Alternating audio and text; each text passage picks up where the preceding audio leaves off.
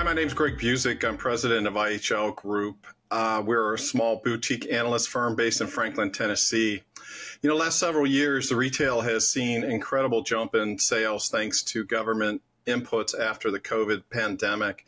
And as a result, we made huge numbers of increases in sales without the ability to add personnel. In fact, we added tremendous, almost $2 trillion worth of sales with about 3 million fewer workers. And so, how do you grow from here? And that was the premise for our study. And we looked at retailers have to do more with less. So, when we were looking at a technology like AI, our first reaction was, how's the best way to look at this? So, we took the income statement and we went, what's the impact on sales? What's the impact on better gross margins? And what's the impact on reduced cost through sales and general administrative expenses? So, that was our first level. Then we had to look at it by type of AI. Is it going to be the traditional AI and machine learning, or is it going to be this new generative AI, or is it this future alternative general intelligence that may be coming down the line? And so we took a stab at putting that together, and we wanted to look at it at 13 different segments around the world. And the results are massive. Our forecast is upwards of $9.2 trillion of potential impact through the end of the decade worldwide. Now, in the Americas region, that's about $3.2 trillion worth of total impact overall.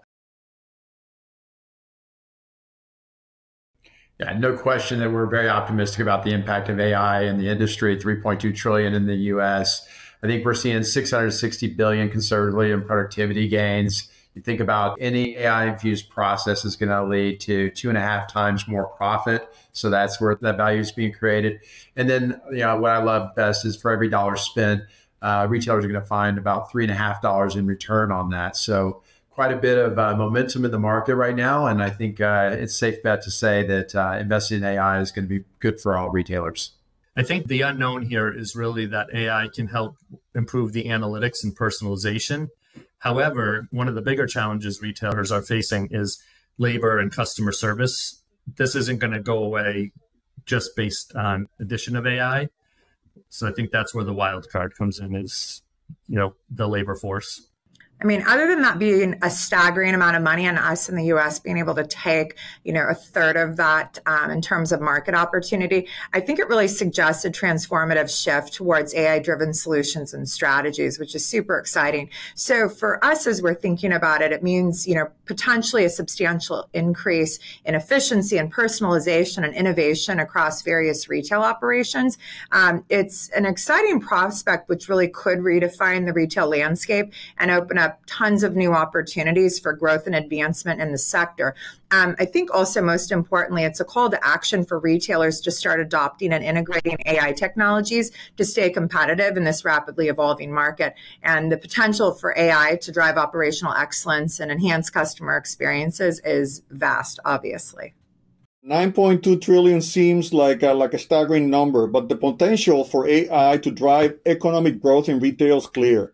It promises to usher basically an era of more intelligent data driven decisions, making processes and customer engagement strategies. This could really redefine the retail landscape, making it more responsive and personalized to customer needs. The integration of AI in retail is expected to optimize operations, enhance customer experiences, and ultimately contribute to sustainability efforts, which we all want. Traditional AI and machine learning. This is the type of AI where you have to have clean data that's tagged and abundant. And that is going to be the vast majority of benefits throughout the decade there. Later in the decade, we'll start to see generative AI mostly benefiting on top of that traditional AI and machine learning to grow that uh, business and that business impact going forward. And then later in the in the decade, we expect to see things like this artificial general intelligence, will, which will start to come into the equation later uh, in the decade. So when you think about it, where is the big benefits going to come from? Well, right now in 2023 and 2024, the benefits are coming from that hard work where we've done the blocking and tackling of getting our data right and doing iteration after iteration after iteration to find the improvements. That's where the vast majority of the benefit is going to be for the rest of the decade there. Later in that decade, however, we're going to see the generative AI impact that. So while today 91% of the benefit comes from traditional AI and machine learning, later in the decade, we expect to see 78% of the benefits coming from generative AI as they build on top of those building blocks of the traditional AI and machine learning. Now, there are four main segments that we think are going to be the big beneficiaries of AI. Number one, by far, is the pure play e commerce sector. And the reason for this is they only have one channel that they have to worry about. Thus, their data by nature is cleaner, which is huge when it comes to getting the benefits from AI. The next category is the grocery segment. And the reason for that is you're dealing with a UPC code only. Everything has a single code uh, for each item there. Next would be your mass merchants and uh, super centers. Those guys have huge scale. So your hypermarkets, your super centers, they have huge scale. Most of their business is business. We are now starting to introduce clothing, which now adds SKU and color and sizing into the equation. So there's more complexity. Hard goods is the next category where you have the benefits of, once again, UPC codes again in that environment. So you have multi-channel that takes advantage though of a single type of code that is where the key benefits are. And then all the other segments make up the remaining 25% of the benefits. Now those benefits are spread across several lines of business. We believe the number one area of improvement and benefit is going to be through systems that are supply chain related. So when you look at things like line of business area, where are the main beneficiaries of AI inside the retail chain? Number one is the supply chain. And it's going to be the merchandising and supply chain systems that will see the biggest benefit from AI going forward. The other one that's obvious is sales and marketing.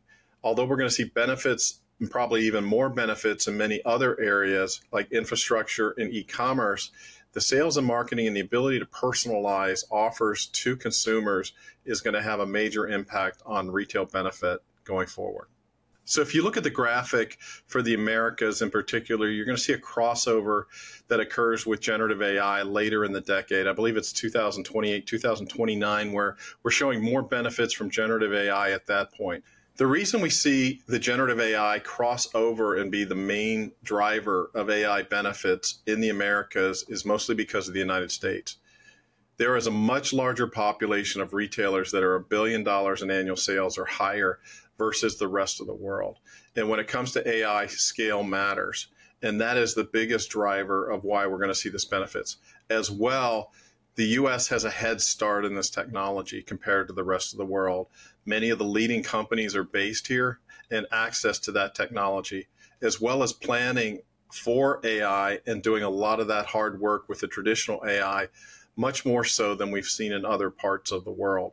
When you combine those all together, and when you factor in, we give the benefit to generative AI, even though a lot of that hard work or the stepping stone was the traditional AI and machine learning, we get these double benefits that start to occur faster in the Americas thanks to this population in the United States.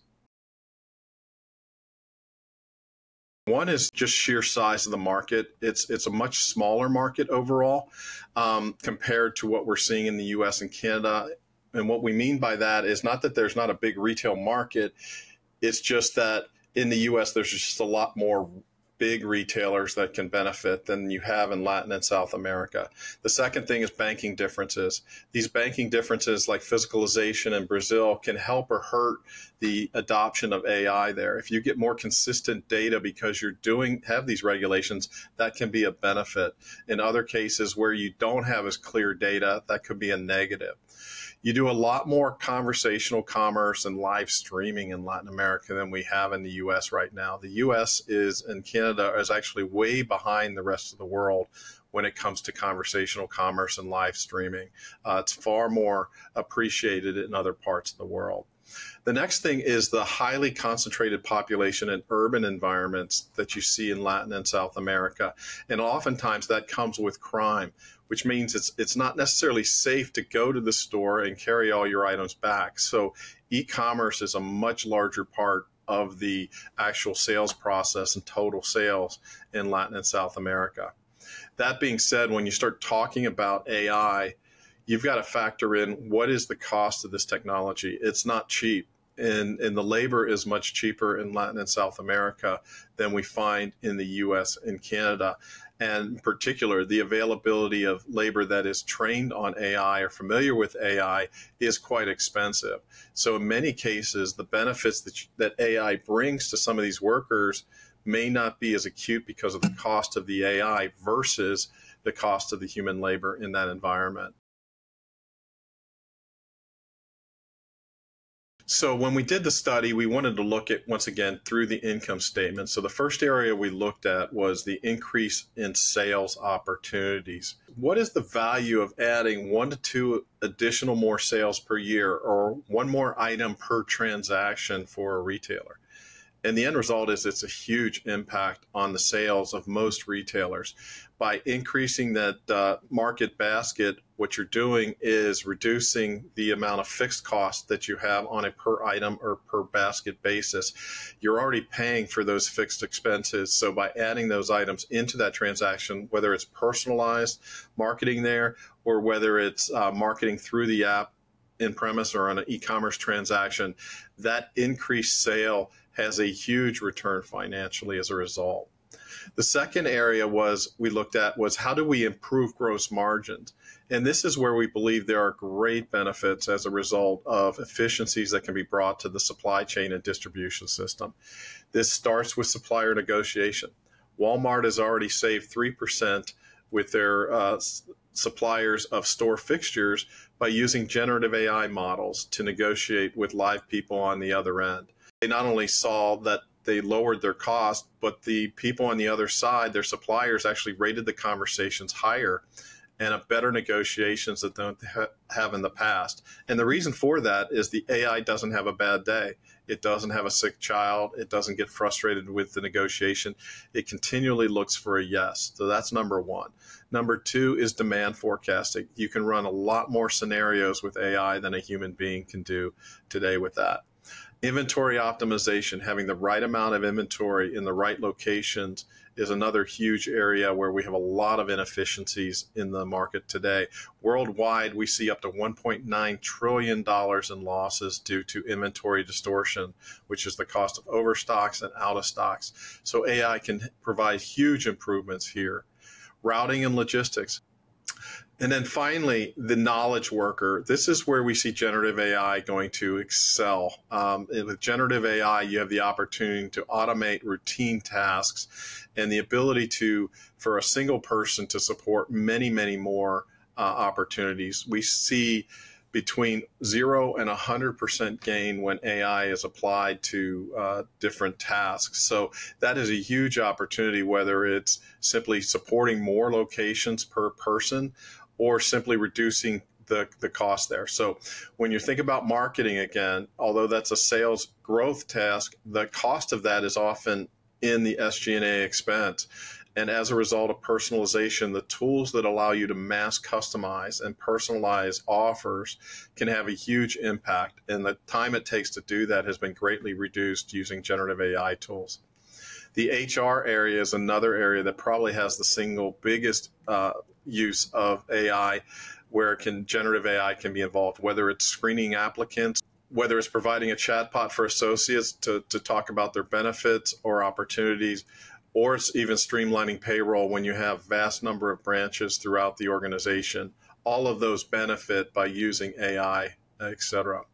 Better scheduling tools, being able to schedule your people with the right hours on things. We've done it traditionally with a lot of algorithms and analytics. Now you have the ability to provide AI in that, and the systems will get better and better and better.